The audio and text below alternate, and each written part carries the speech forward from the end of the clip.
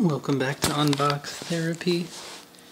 Um, I'm on my new rug from Reagan. And today we got my new eBay purchase for the Jetta. It cost a whopping $200 for these nice coilovers. I think they're RSK maybe? I don't know. I heard alright things. I mean, it's a beater car. I don't really give a shit. And the strut's blown, so I figured instead of buying another $50 boring stock strut, I would get uh, some cheap, shitty coilovers. And I'm just gonna drive it to like my 10 mile drive to work or something. Maybe if I feel brave, I'll drive it a couple hours. Well, they look dope. I've never owned coilovers.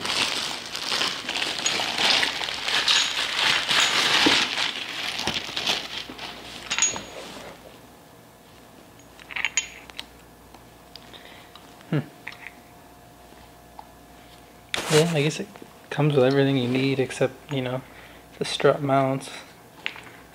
Um, it's just got the uh, notch at the top here that you put a adjustable wrench on. Yeah, on the other strut, like the broke stock one I have, there's a C clip or something in here that was missing. So like it was just riding on completely spring and the strut was just going up and down and like lifting the whole trunk area. Got the back two here and the front two here. So yeah, these things are pretty heavy. They feel sturdy for $200 eBay parts, but we'll see how they go in.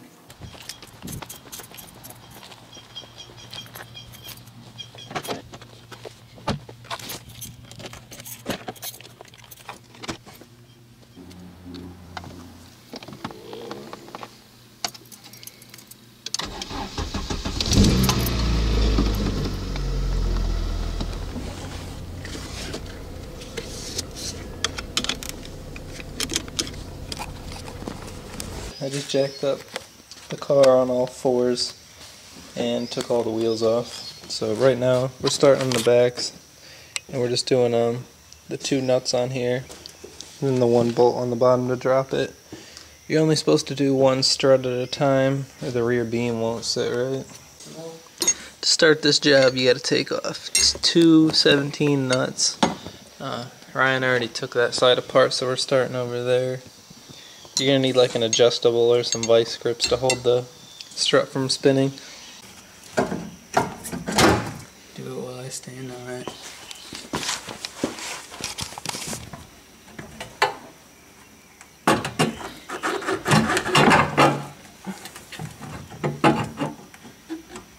Wait, I got. Uh, good. All right, you can get down. I think. Supposed to go through. Alright, we got the strut and spring out. Just trying to figure out what ride height to do here. Uh, this is about what came in the box, but I might just do like halfway. I'm not sure yet. You gotta grab it from. On this side, we already put the coilover in most of the way, but you know, it sits shorter, obviously. Uh, Ryan just put the camber bolt in, and you have to lift the rear beam since it's one piece to get it up into that housing again. So we're just gonna take the other side out anyway, because you can still put the camber bolt in the back.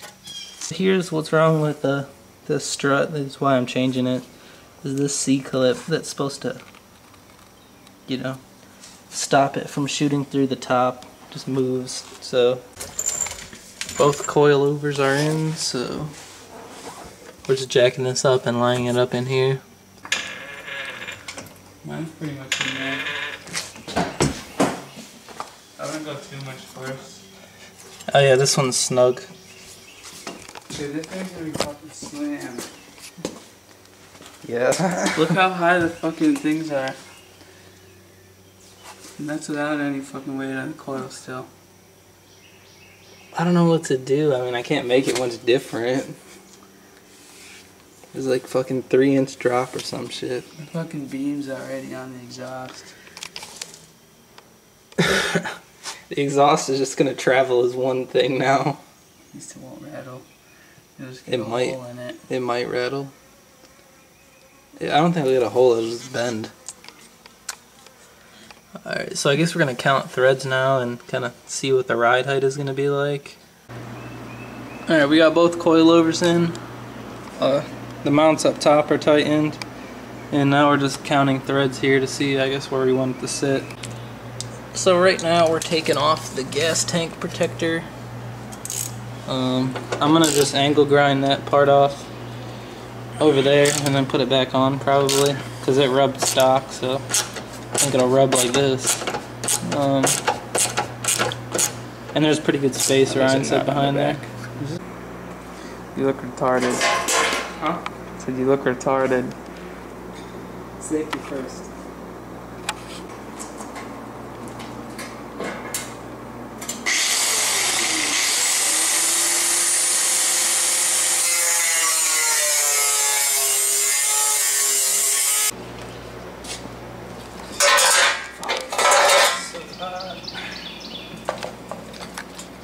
Still haggard. That's pretty clean. Here's the uh, clearance we're working with now. Quite a bit better. So we put all the four wheels back on and kind of tested for clearance, taking the e-brake off, and they still roll all right in the back. Uh, we're on the rear beam right now with this low profile jack and took the jack stands out so we're going to try and put it down. Maybe not. Oh, we cleared. How's it sit? How's it sit?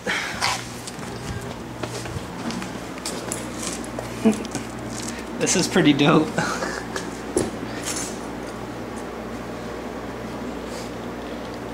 Still kind of gapped. I mean, I don't want to lower it more yet. It could rub.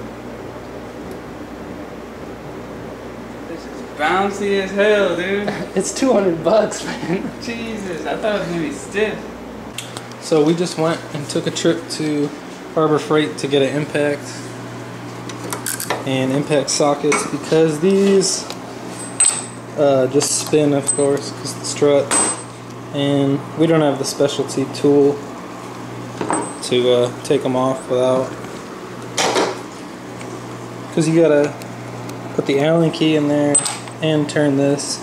So my dad had a setup where he like trim this into a square where you could put an adjustable on it and then put the Allen through it but we don't have either of that so impact Reverse, right? Yeah.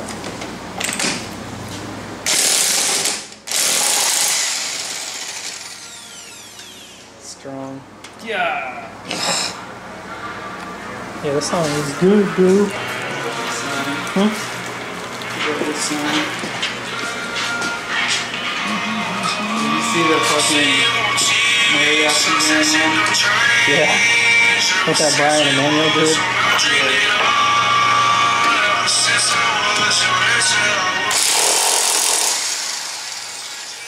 cheesy as fuck All they need for that. So what we've done here is take out these two camber bolts on the stock one, and now we took off the uh, one here for the brake mount. So Ryan's pulling that out the way. Should just pull out from the top now. Hit it with a hammer.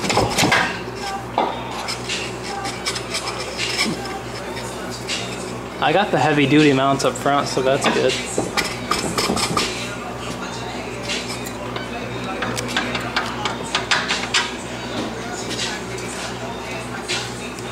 Yeah, these things. I upgraded these. This is so much easier than fucking mine. Yeah.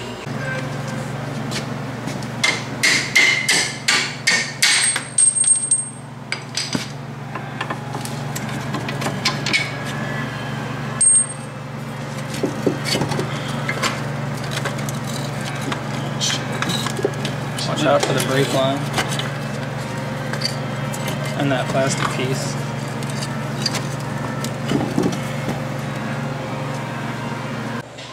Yeah, you don't fucking do this or hold it one or two.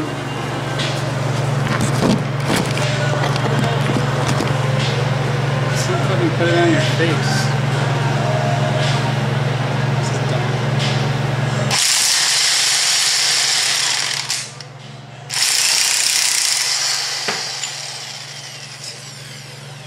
So here's the assembly. That's the uh, nut we took off. And this big cavity goes up top. And then on the underside, you can see, there's the light. There's a bearing in here. And uh, sits like this on the old spring seat.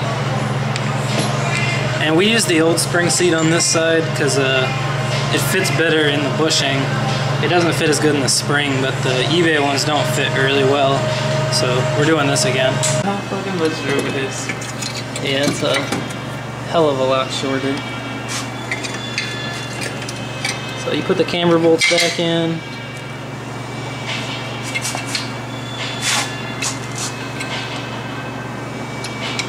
Oh, we didn't zip tie the other side yet, did we?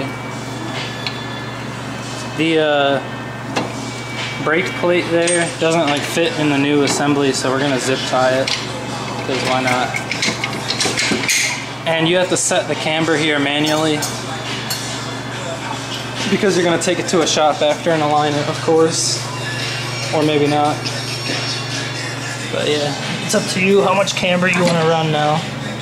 And you're just gonna put a jack under here and lift it up to uh, get it through here and tighten it again.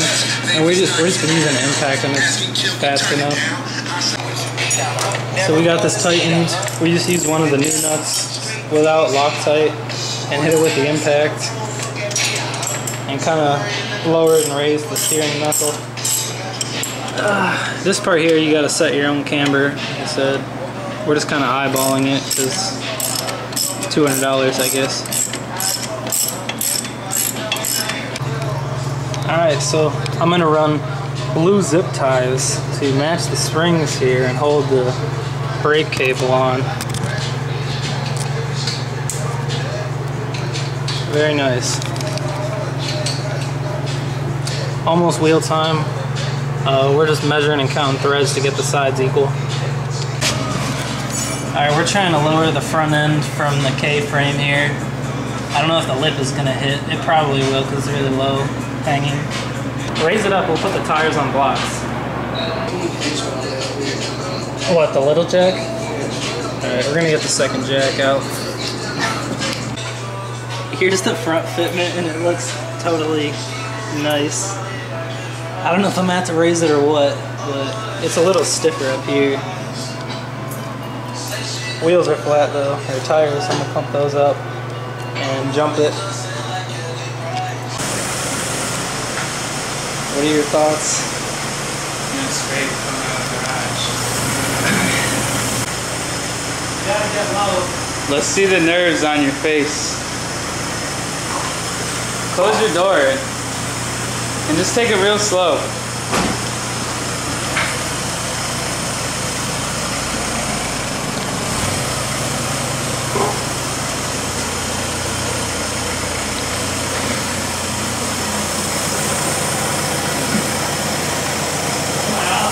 Hold on. We gotta raise it.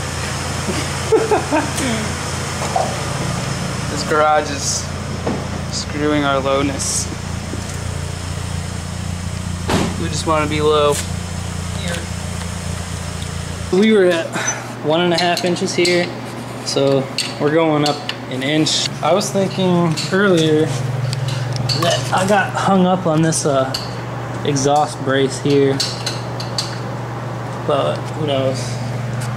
The engine was pretty low too. I, I obviously didn't hit on that, but it's just kind of scary. So we're going up like an inch right now. So we're gotta use two jacks again to get this lip to clear. Okay.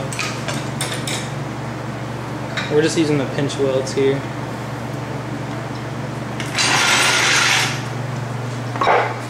Here's the new fitment. We're not tucking anymore, but it looks pretty good.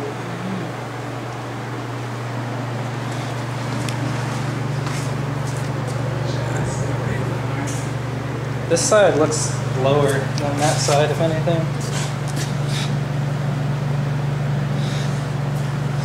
Could be camera related too.